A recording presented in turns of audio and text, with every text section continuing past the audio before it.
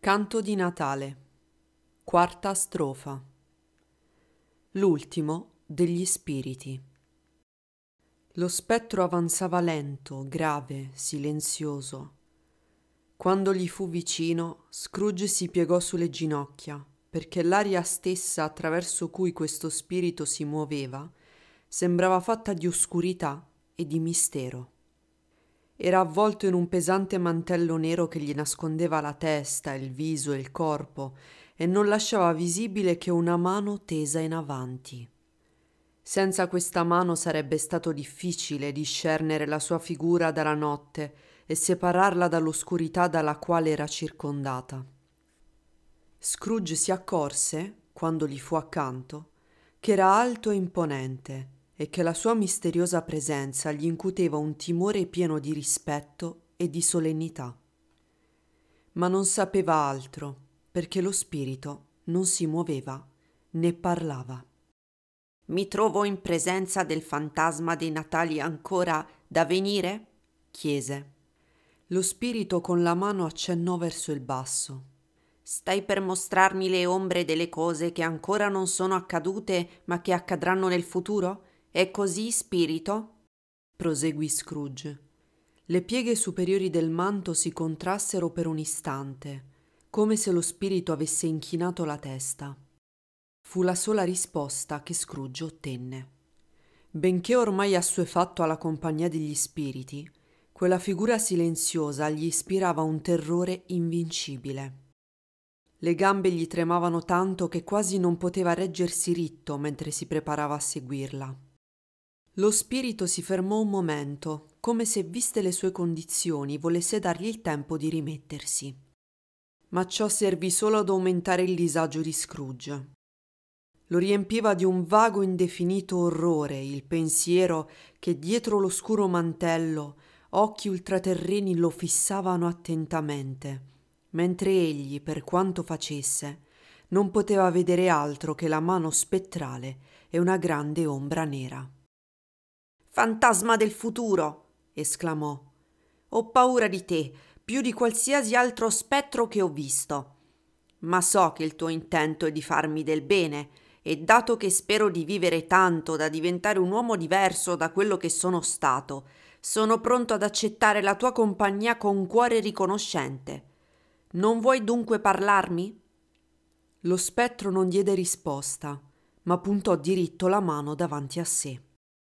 Guidami, disse Scrooge. Guidami. La notte passa rapida ed è tempo prezioso per me, lo so. Guidami, spirito. Il fantasma si mise in cammino nello stesso modo in cui era venuto. Scrooge lo seguì all'ombra del suo mantello ed ebbe l'impressione che fosse proprio quello a sostenerlo e a portarlo. Non è facile dire se fossero loro a entrare nella città o se fosse la città a sorgere dal suolo e a circondarli con il suo traffico.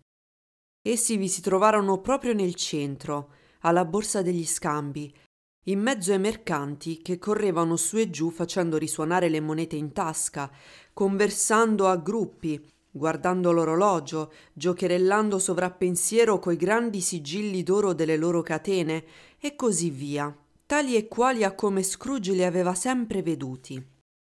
Lo spirito si arrestò presso un gruppetto di uomini d'affari e notando che la sua mano glieli indicava, Scrooge si avvicinò per udire i loro discorsi. No, diceva un grassone con una pappagorgia mostruosa. Non ne so molto in proposito, so solo che è morto. E quando è morto? domandò un altro. Ieri notte, credo. E che cosa gli è capitato? Chiese un terzo, prendendo un abbondante pizzico di tabacco dalla sua grossa tabacchiera. C'era da credere che non morisse mai. Dio solo lo sa, disse il primo con uno sbadiglio. Che cosa ha fatto del suo denaro? domandò un gentiluomo con una faccia paonazza e sulla punta del naso una pendola escrescenza che ballonzolava come i bargigli di un tacchino. Non so nulla, rispose l'uomo dalla pappagorgia, sbadigliando di nuovo. L'avrà senza dubbio lasciato alla sua ditta. Certo non l'ha lasciato a me, non so altro. Lo scherzo fu accolto da una risata generale. Il funerale sarà probabilmente modestissimo, proseguì lo stesso interlocutore. Giacché in fede mia non so davvero chi ci andrà. E se ci andassimo tutti noi in gruppo? A me non importa di andarci, purché si sia sicuri che abbiano pensato al pranzo funebre, osservò il gentiluomo con l'escrescenza sul naso. Se ci vengo voglio almeno essere nutrito bene. Un'altra risata. Beh, io sono più disinteressato di tutti voi alla fin fine, fece il primo interlocutore. Giacché io non porto mai guanti neri e non mangio mai fuori a colazione. Ma accetto di andarci se ci va qualcun altro. Anzi, a ripensarci non sono proprio sicuro di non essere stato il suo più intimo amico. Qualche volta incontrandoci ci fermavamo a fare due chiacchiere. Arrivederci, arrivederci. Quelli che avevano parlato e quelli che avevano ascoltato se ne andarono mischiandosi ad altri gruppi. Scrooge li conosceva tutti e guardò lo spirito per avere una spiegazione. Il fantasma scivolò in una strada adiacente e additò due persone che vi si erano incontrate. Scrooge tese di nuovo l'orecchio, pensando di poter venire a capo di quell'enigma. Conosceva benissimo quei due, uomini d'affari molto ricchi e molto importanti.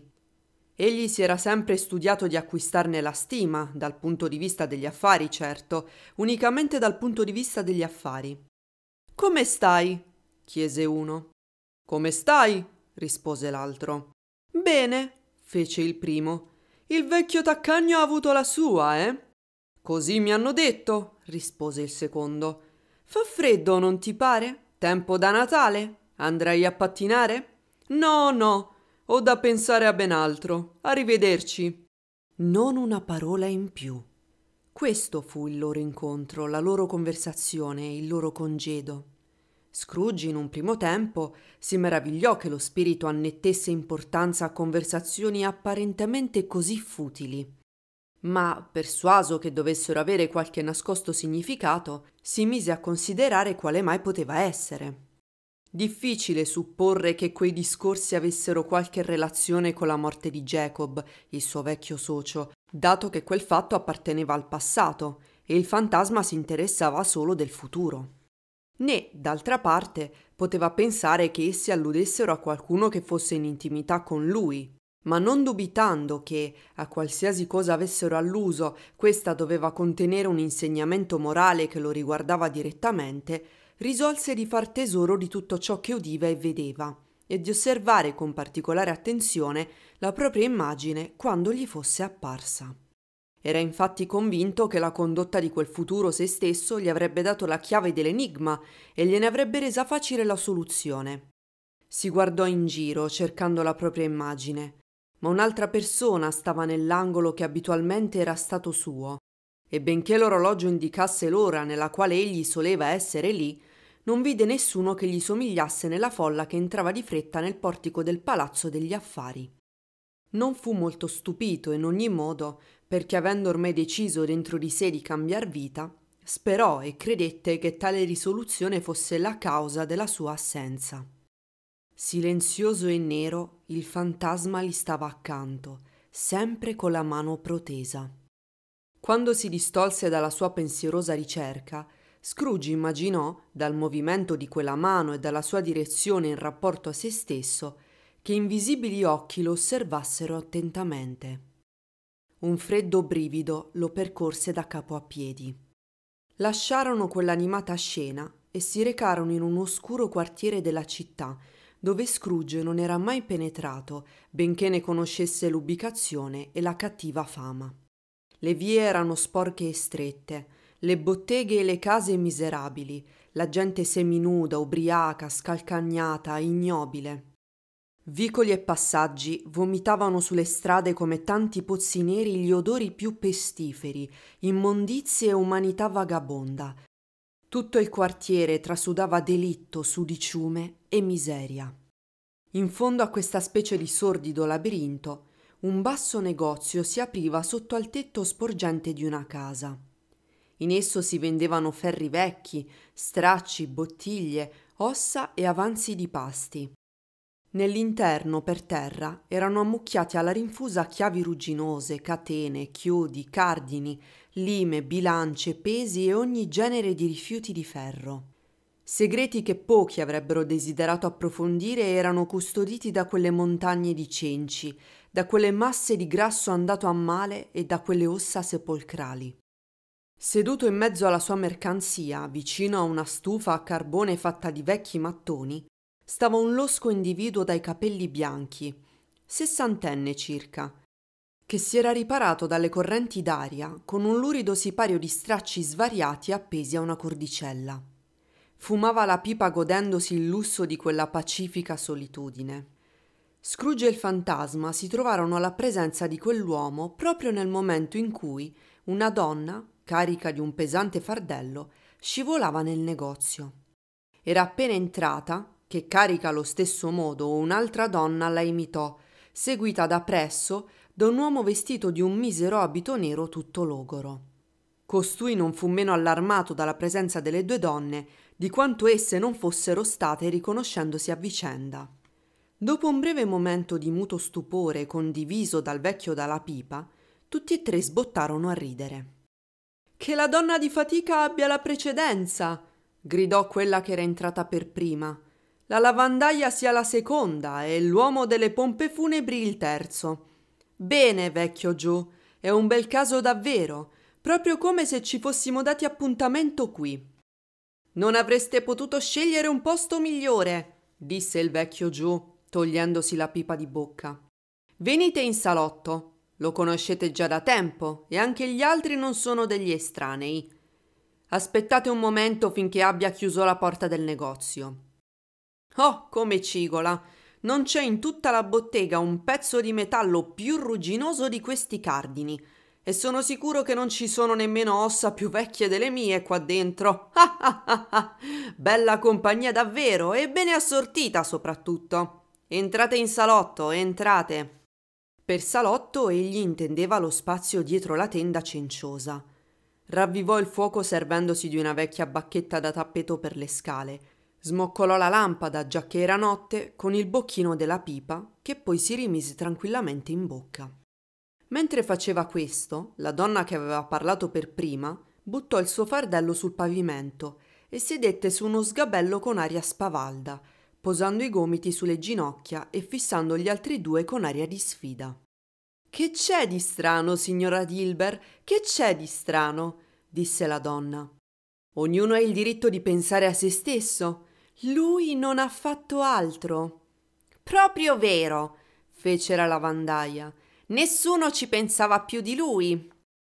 Allora perché state lì con due occhi imbambolati come se aveste paura, amica mia? Che cosa ci guadagnate? Non staremo a farci le pulci a vicenda, immagino. No, certo, risposero insieme la signora Dilber e l'uomo. Speriamo di no. Benissimo, allora esclamò la donna. Basta così. Chi volete che ci rimetta per la perdita di poche sciocchezze come queste? Non il morto, immagino. No, davvero, rise la signora Dilber. Se quel vecchio avaraccio avesse desiderato tenersi queste cose dopo morto, seguitò la donna, perché non è stato più umano durante la sua vita? Se lo fosse stato, avrebbe avuto qualcuno che si sarebbe occupato di lui quando è crepato, invece di rimanersene a boccheggiare solo come un cane fino alla fine. Questa è la verità più vera che mai sia stata detta, osservò la signora Dilber. Ha avuto quello che si è meritato. Vorrei che avesse avuto qualcosa di peggio, riprese la donna. E lo avrebbe avuto, potete credermi, se avessi potuto mettere le mani su qualcosa d'altro. Aprite pure il fagotto, vecchio Joe, e ditemi che valore ci date. Parlate pure fuori dei denti. Me ne infischio di essere la prima e non mi importa che gli altri due vedano quello che c'è dentro. Anche prima di incontrarci qui lo sapevamo benissimo che tutti ci eravamo serviti e non è un delitto.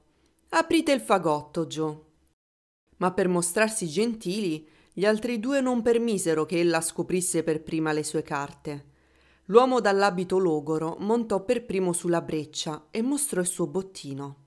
Non era granché, un paio di bottoni da polso e una spilla di poco valore. Niente altro. I due oggetti furono attentamente esaminati e valutati dal vecchio Joe, il quale notò col gesso sul muro le cifre che era disposto ad offrire per ciascuno di essi, le sommò e quando vide che dal fagotto non veniva fuori altro, fece il totale. Questo è quanto vi spetta, disse, e non vi darò un centesimo di più nemmeno se dovessi essere messo a bollire per non averlo fatto. A chi tocca ora? Toccava alla signora Dilber. Lenzuola, salviette, qualche capo di vestiario, due antiquati cucchiaini da tè in argento, un paio di pinze da zucchero, alcune paia di scarpe. Il suo conto fu segnato sul muro come il precedente. Io sono sempre troppo generoso con le signore. È una mia debolezza che finirà col mandarmi in rovina, disse il vecchio Joe. Ecco il vostro conto. Se osate domandarmi un centesimo di più o discutere, mi pentirò della mia generosità e vi toglierò mezza corona sul totale. E adesso aprite il mio involto, Joe, fece la prima donna. Per essere più a suo agio, Joe si inginocchiò e dopo aver sciolto molti nodi, tirò fuori un rotolo grosso e pesante di tessuto scuro. Che cos'è mai? chiese. Cortinaggi da letto? Oh, rispose la donna ridendo e piegandosi in avanti sulle braccia conserte. Cortinaggi da letto, precisamente. Vorreste forse dire che li avete tirati giù anelli e tutto mentre lui giaceva lì? Proprio così, disse la donna. E perché no? Siete nata per far fortuna voi, osservò Joe, e certamente la farete. Per un individuo come quello non ritiro certo la mia mano se c'è qualcosa da portar via, rispose freddamente la donna. Attenzione, non mi lasciate cadere l'olio della vostra lampada sulle coperte adesso. Le sue coperte? domandò Joe. E di chi altri vorreste che fossero? replicò la donna. Non è facile che prenda freddo ora, anche se non ne ha, direi. Non sarà per caso morto di un qualche male contagioso, eh? chiese il vecchio, interrompendo il suo lavoro e guardandola. Non abbiate paura, rispose la donna. Non ero poi innamorata della sua compagnia da restargli accanto per queste sciocchezze, se così fosse stato. Ah, potete esaminare dentro e fuori quella camicia fino a perdere gli occhi, ma buchi non ne troverete e nemmeno sdruciture. Era la migliore che aveva, una gran bella camicia, e se non fosse stato per me sarebbe andata sciupata. Che cosa intendete per sciupata? Gliel'avrebbero messa addosso per seppellirlo, potete esserne certo, rispose la donna con una risata. Qualcuno era stato tanto scemo da farlo, ma io gliel'ho levata via. Se il cotone non è sufficiente per quello scopo, vorrei proprio sapere a cosa serve. È quello che ci vuole per un morto. Non potrà sembrare più brutto di quello che sembrava con questa qui. Scrooge aveva ascoltato con orrore il dialogo. Mentre sedevano in gruppo intorno al loro bottino, alla scarsa luce che emanava dalla lampada del vecchio, egli guardava quella gente con un odio e un disgusto che non avrebbero potuto essere più intensi, fossero essi stati degli osceni demoni occupati a disputarsi il suo stesso cadavere.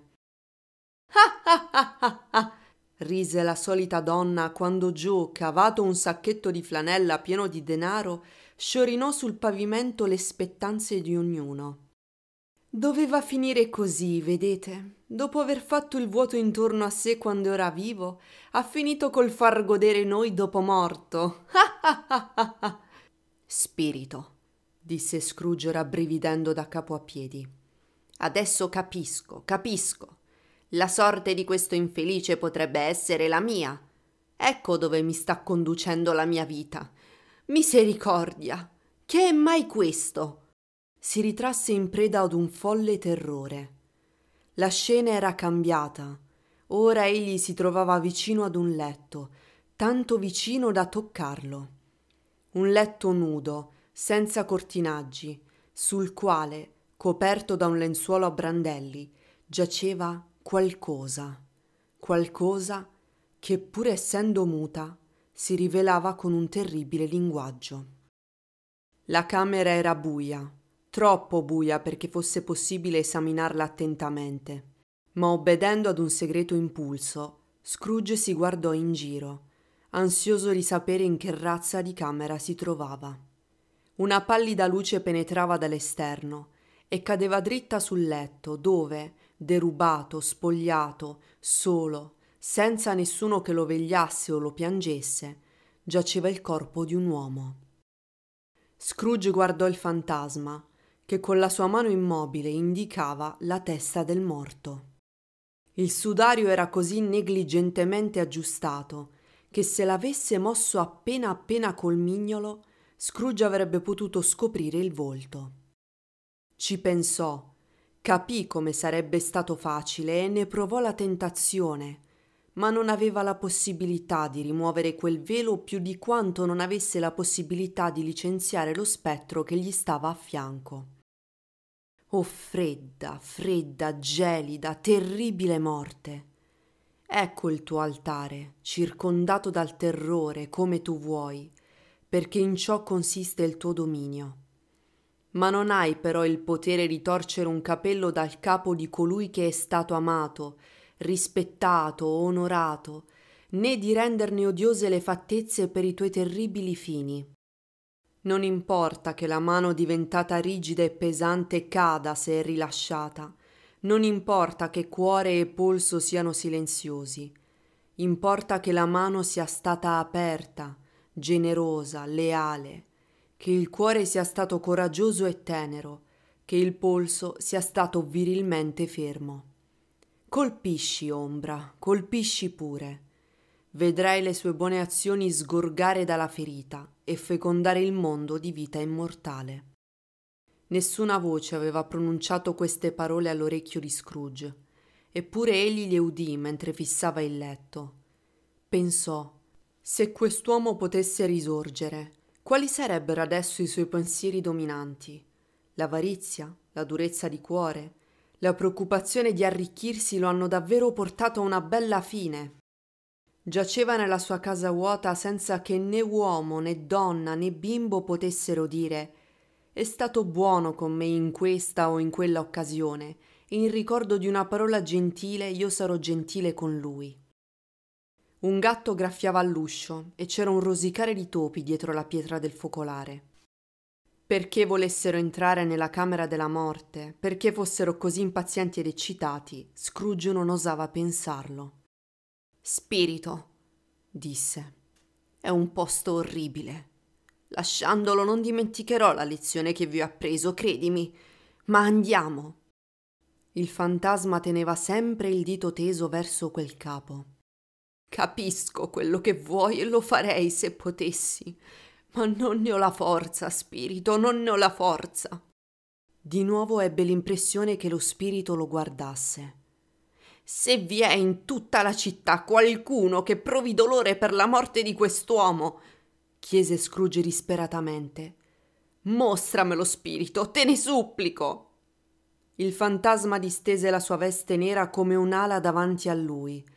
Poi, ripiegandola, rivelò, illuminata dalla luce del giorno, una camera nella quale stava una madre coi suoi bambini. Ella stava aspettando con trepida ansia qualcuno. Camminava avanti e indietro, trasaliva ad ogni rumore, guardava fuori dalla finestra, gettava continue occhiate all'orologio, cercava inutilmente di lavorare o un poco di cucito, e solo a fatica riusciva a sopportare le voci dei bambini che giocavano. Finalmente ecco il tanto atteso colpo di battente alla porta. Ella corse incontro al marito, un uomo ancora giovane, ma col viso abbattuto e sconvolto dal dolore. Vi era in quel momento su quel viso un'espressione strana, una specie di grave contentezza della quale egli sembrava vergognarsi e che cercava di nascondere. Sedette davanti al pranzo che era stato tenuto in serbo per lui sul fuoco, e quando la moglie gli chiese timidamente, dopo un lungo silenzio, quali notizie portava, egli apparve imbarazzato a rispondere. Notizie buone o cattive? fece lei per aiutarlo.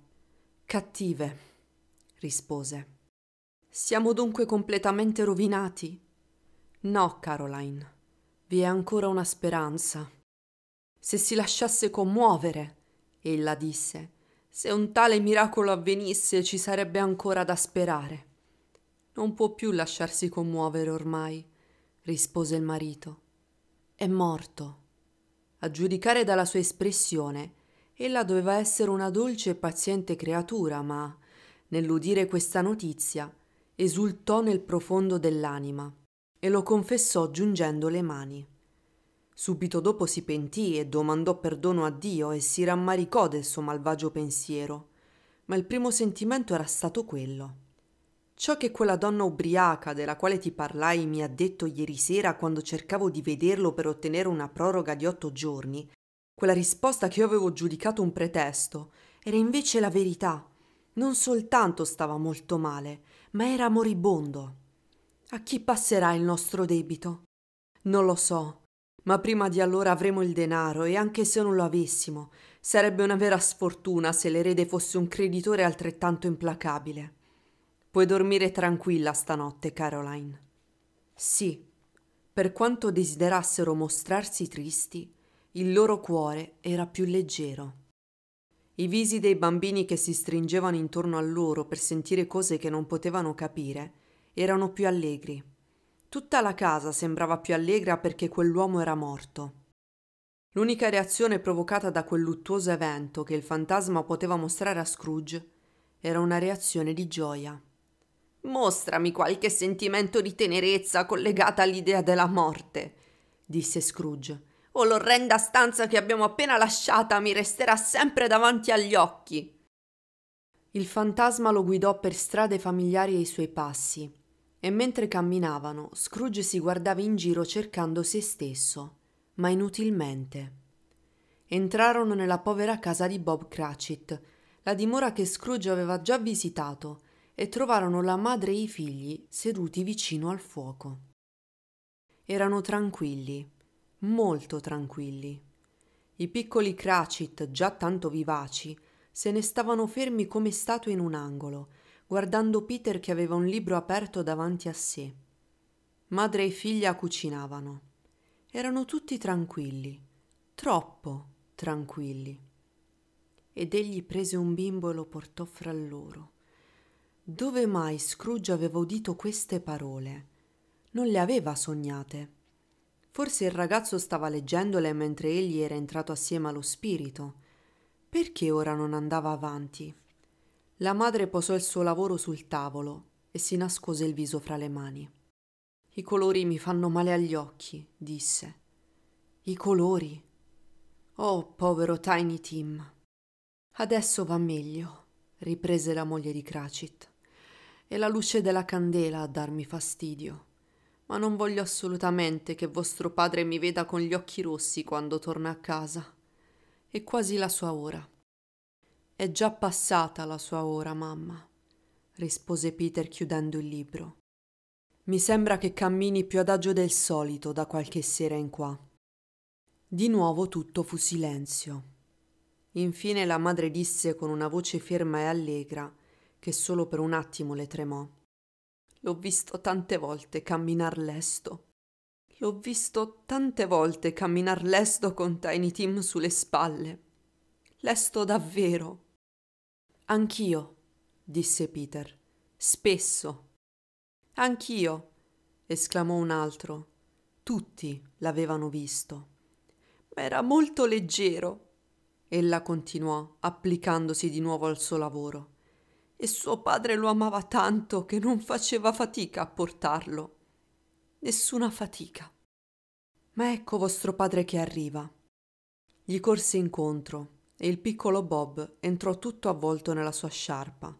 Ne aveva bisogno, povero diavolo. Il tè era stato tenuto in caldo sulla griglia del fuoco e tutti fecero a gara perché si servisse abbondantemente.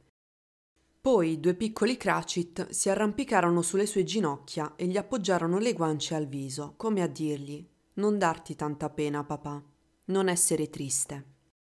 Bob si finse allegro con loro e parlò in tono allegro a tutta la famiglia. guardò i lavori sul tavolo e lodò l'abilità e la sveltezza della signora Cratchit e delle ragazze. Tutto sarebbe certo stato pronto prima di domenica, disse. Domenica? Allora sei andato là oggi, Bob? domandò la moglie. Sì, cara, rispose Bob. E avrei voluto che tu ci fossi potuta venire.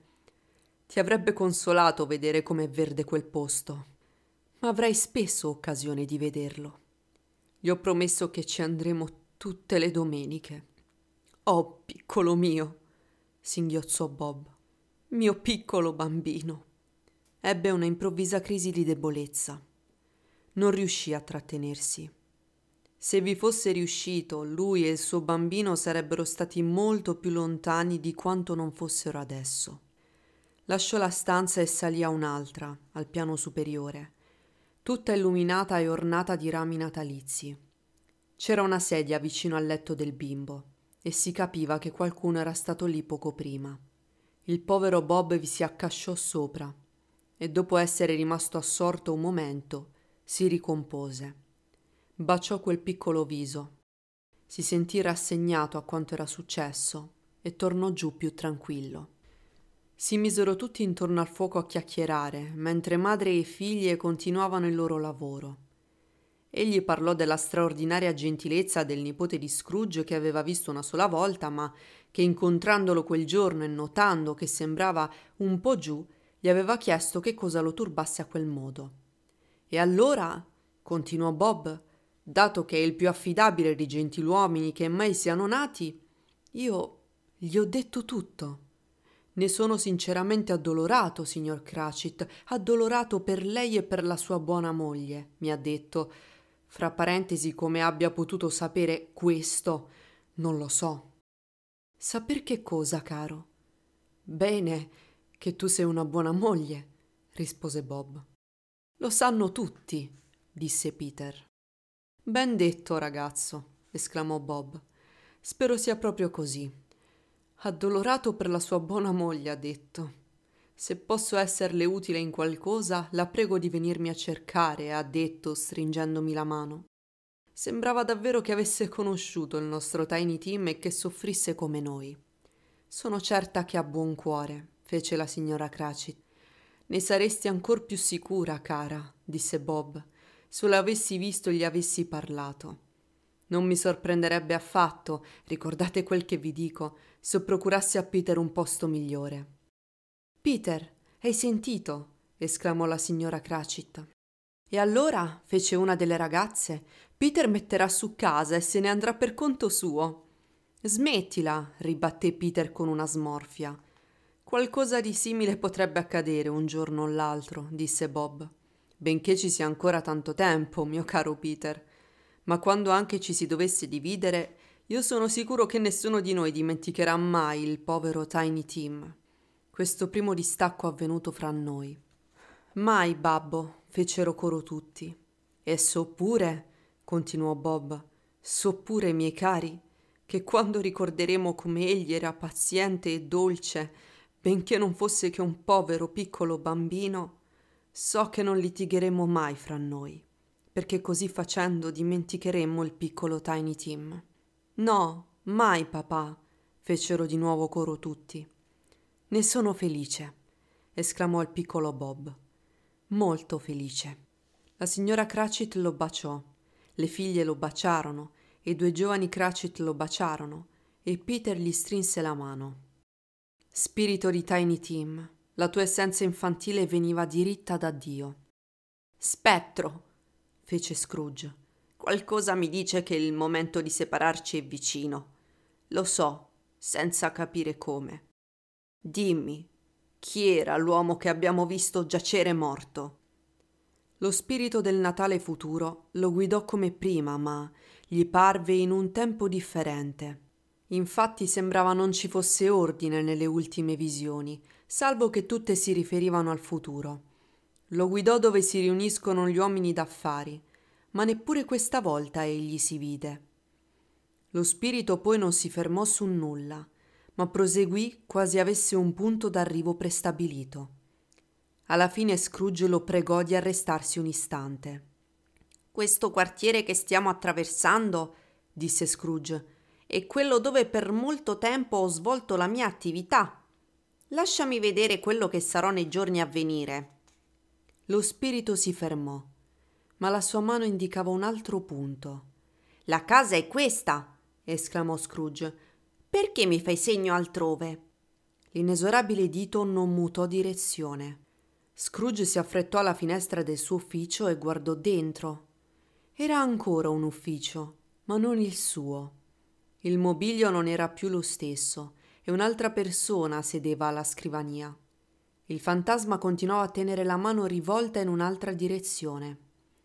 Scrooge ritornò a lui e meditando sul come e dove egli potesse essersene andato, seguì la sua guida finché giunsero a un cancello di ferro. Prima di entrare si fermò, guardandosi in giro. Un cimitero. Lì dunque giaceva il disgraziato di cui finalmente avrebbe saputo il nome.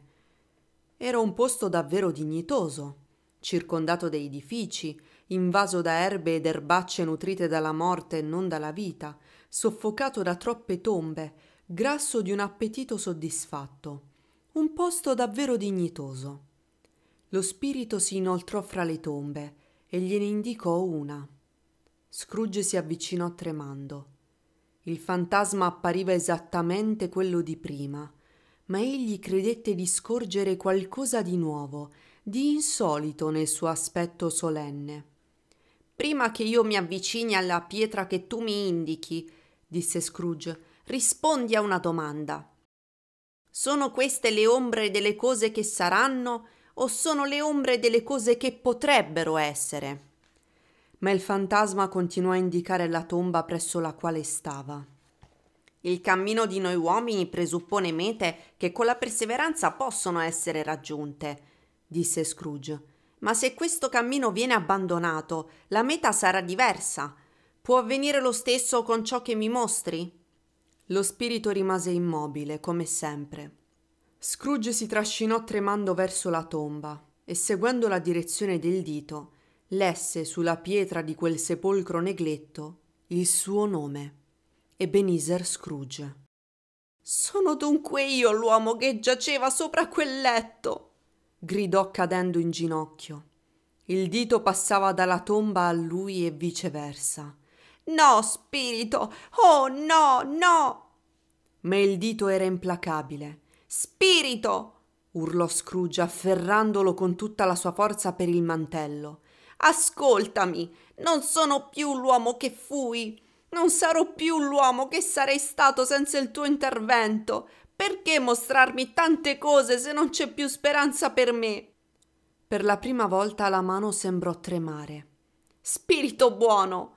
continuò Scrooge, sempre inginocchiato dinanzi a lui, il viso verso terra.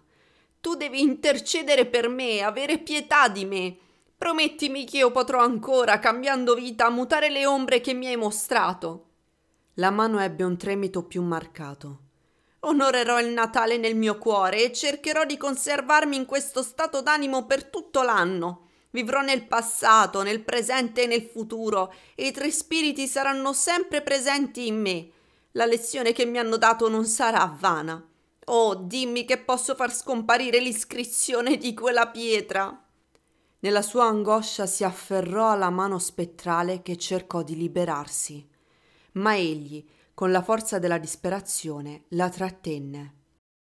Lo spirito, ancora una volta più forte, lo respinse alzando le mani in una suprema e ultima preghiera perché il suo destino fosse mutato. Egli scorse qualcosa di strano nel cappuccio e nel manto del fantasma, che si rattrappirono, si restrinsero, si trasformarono nella colonnina di un letto.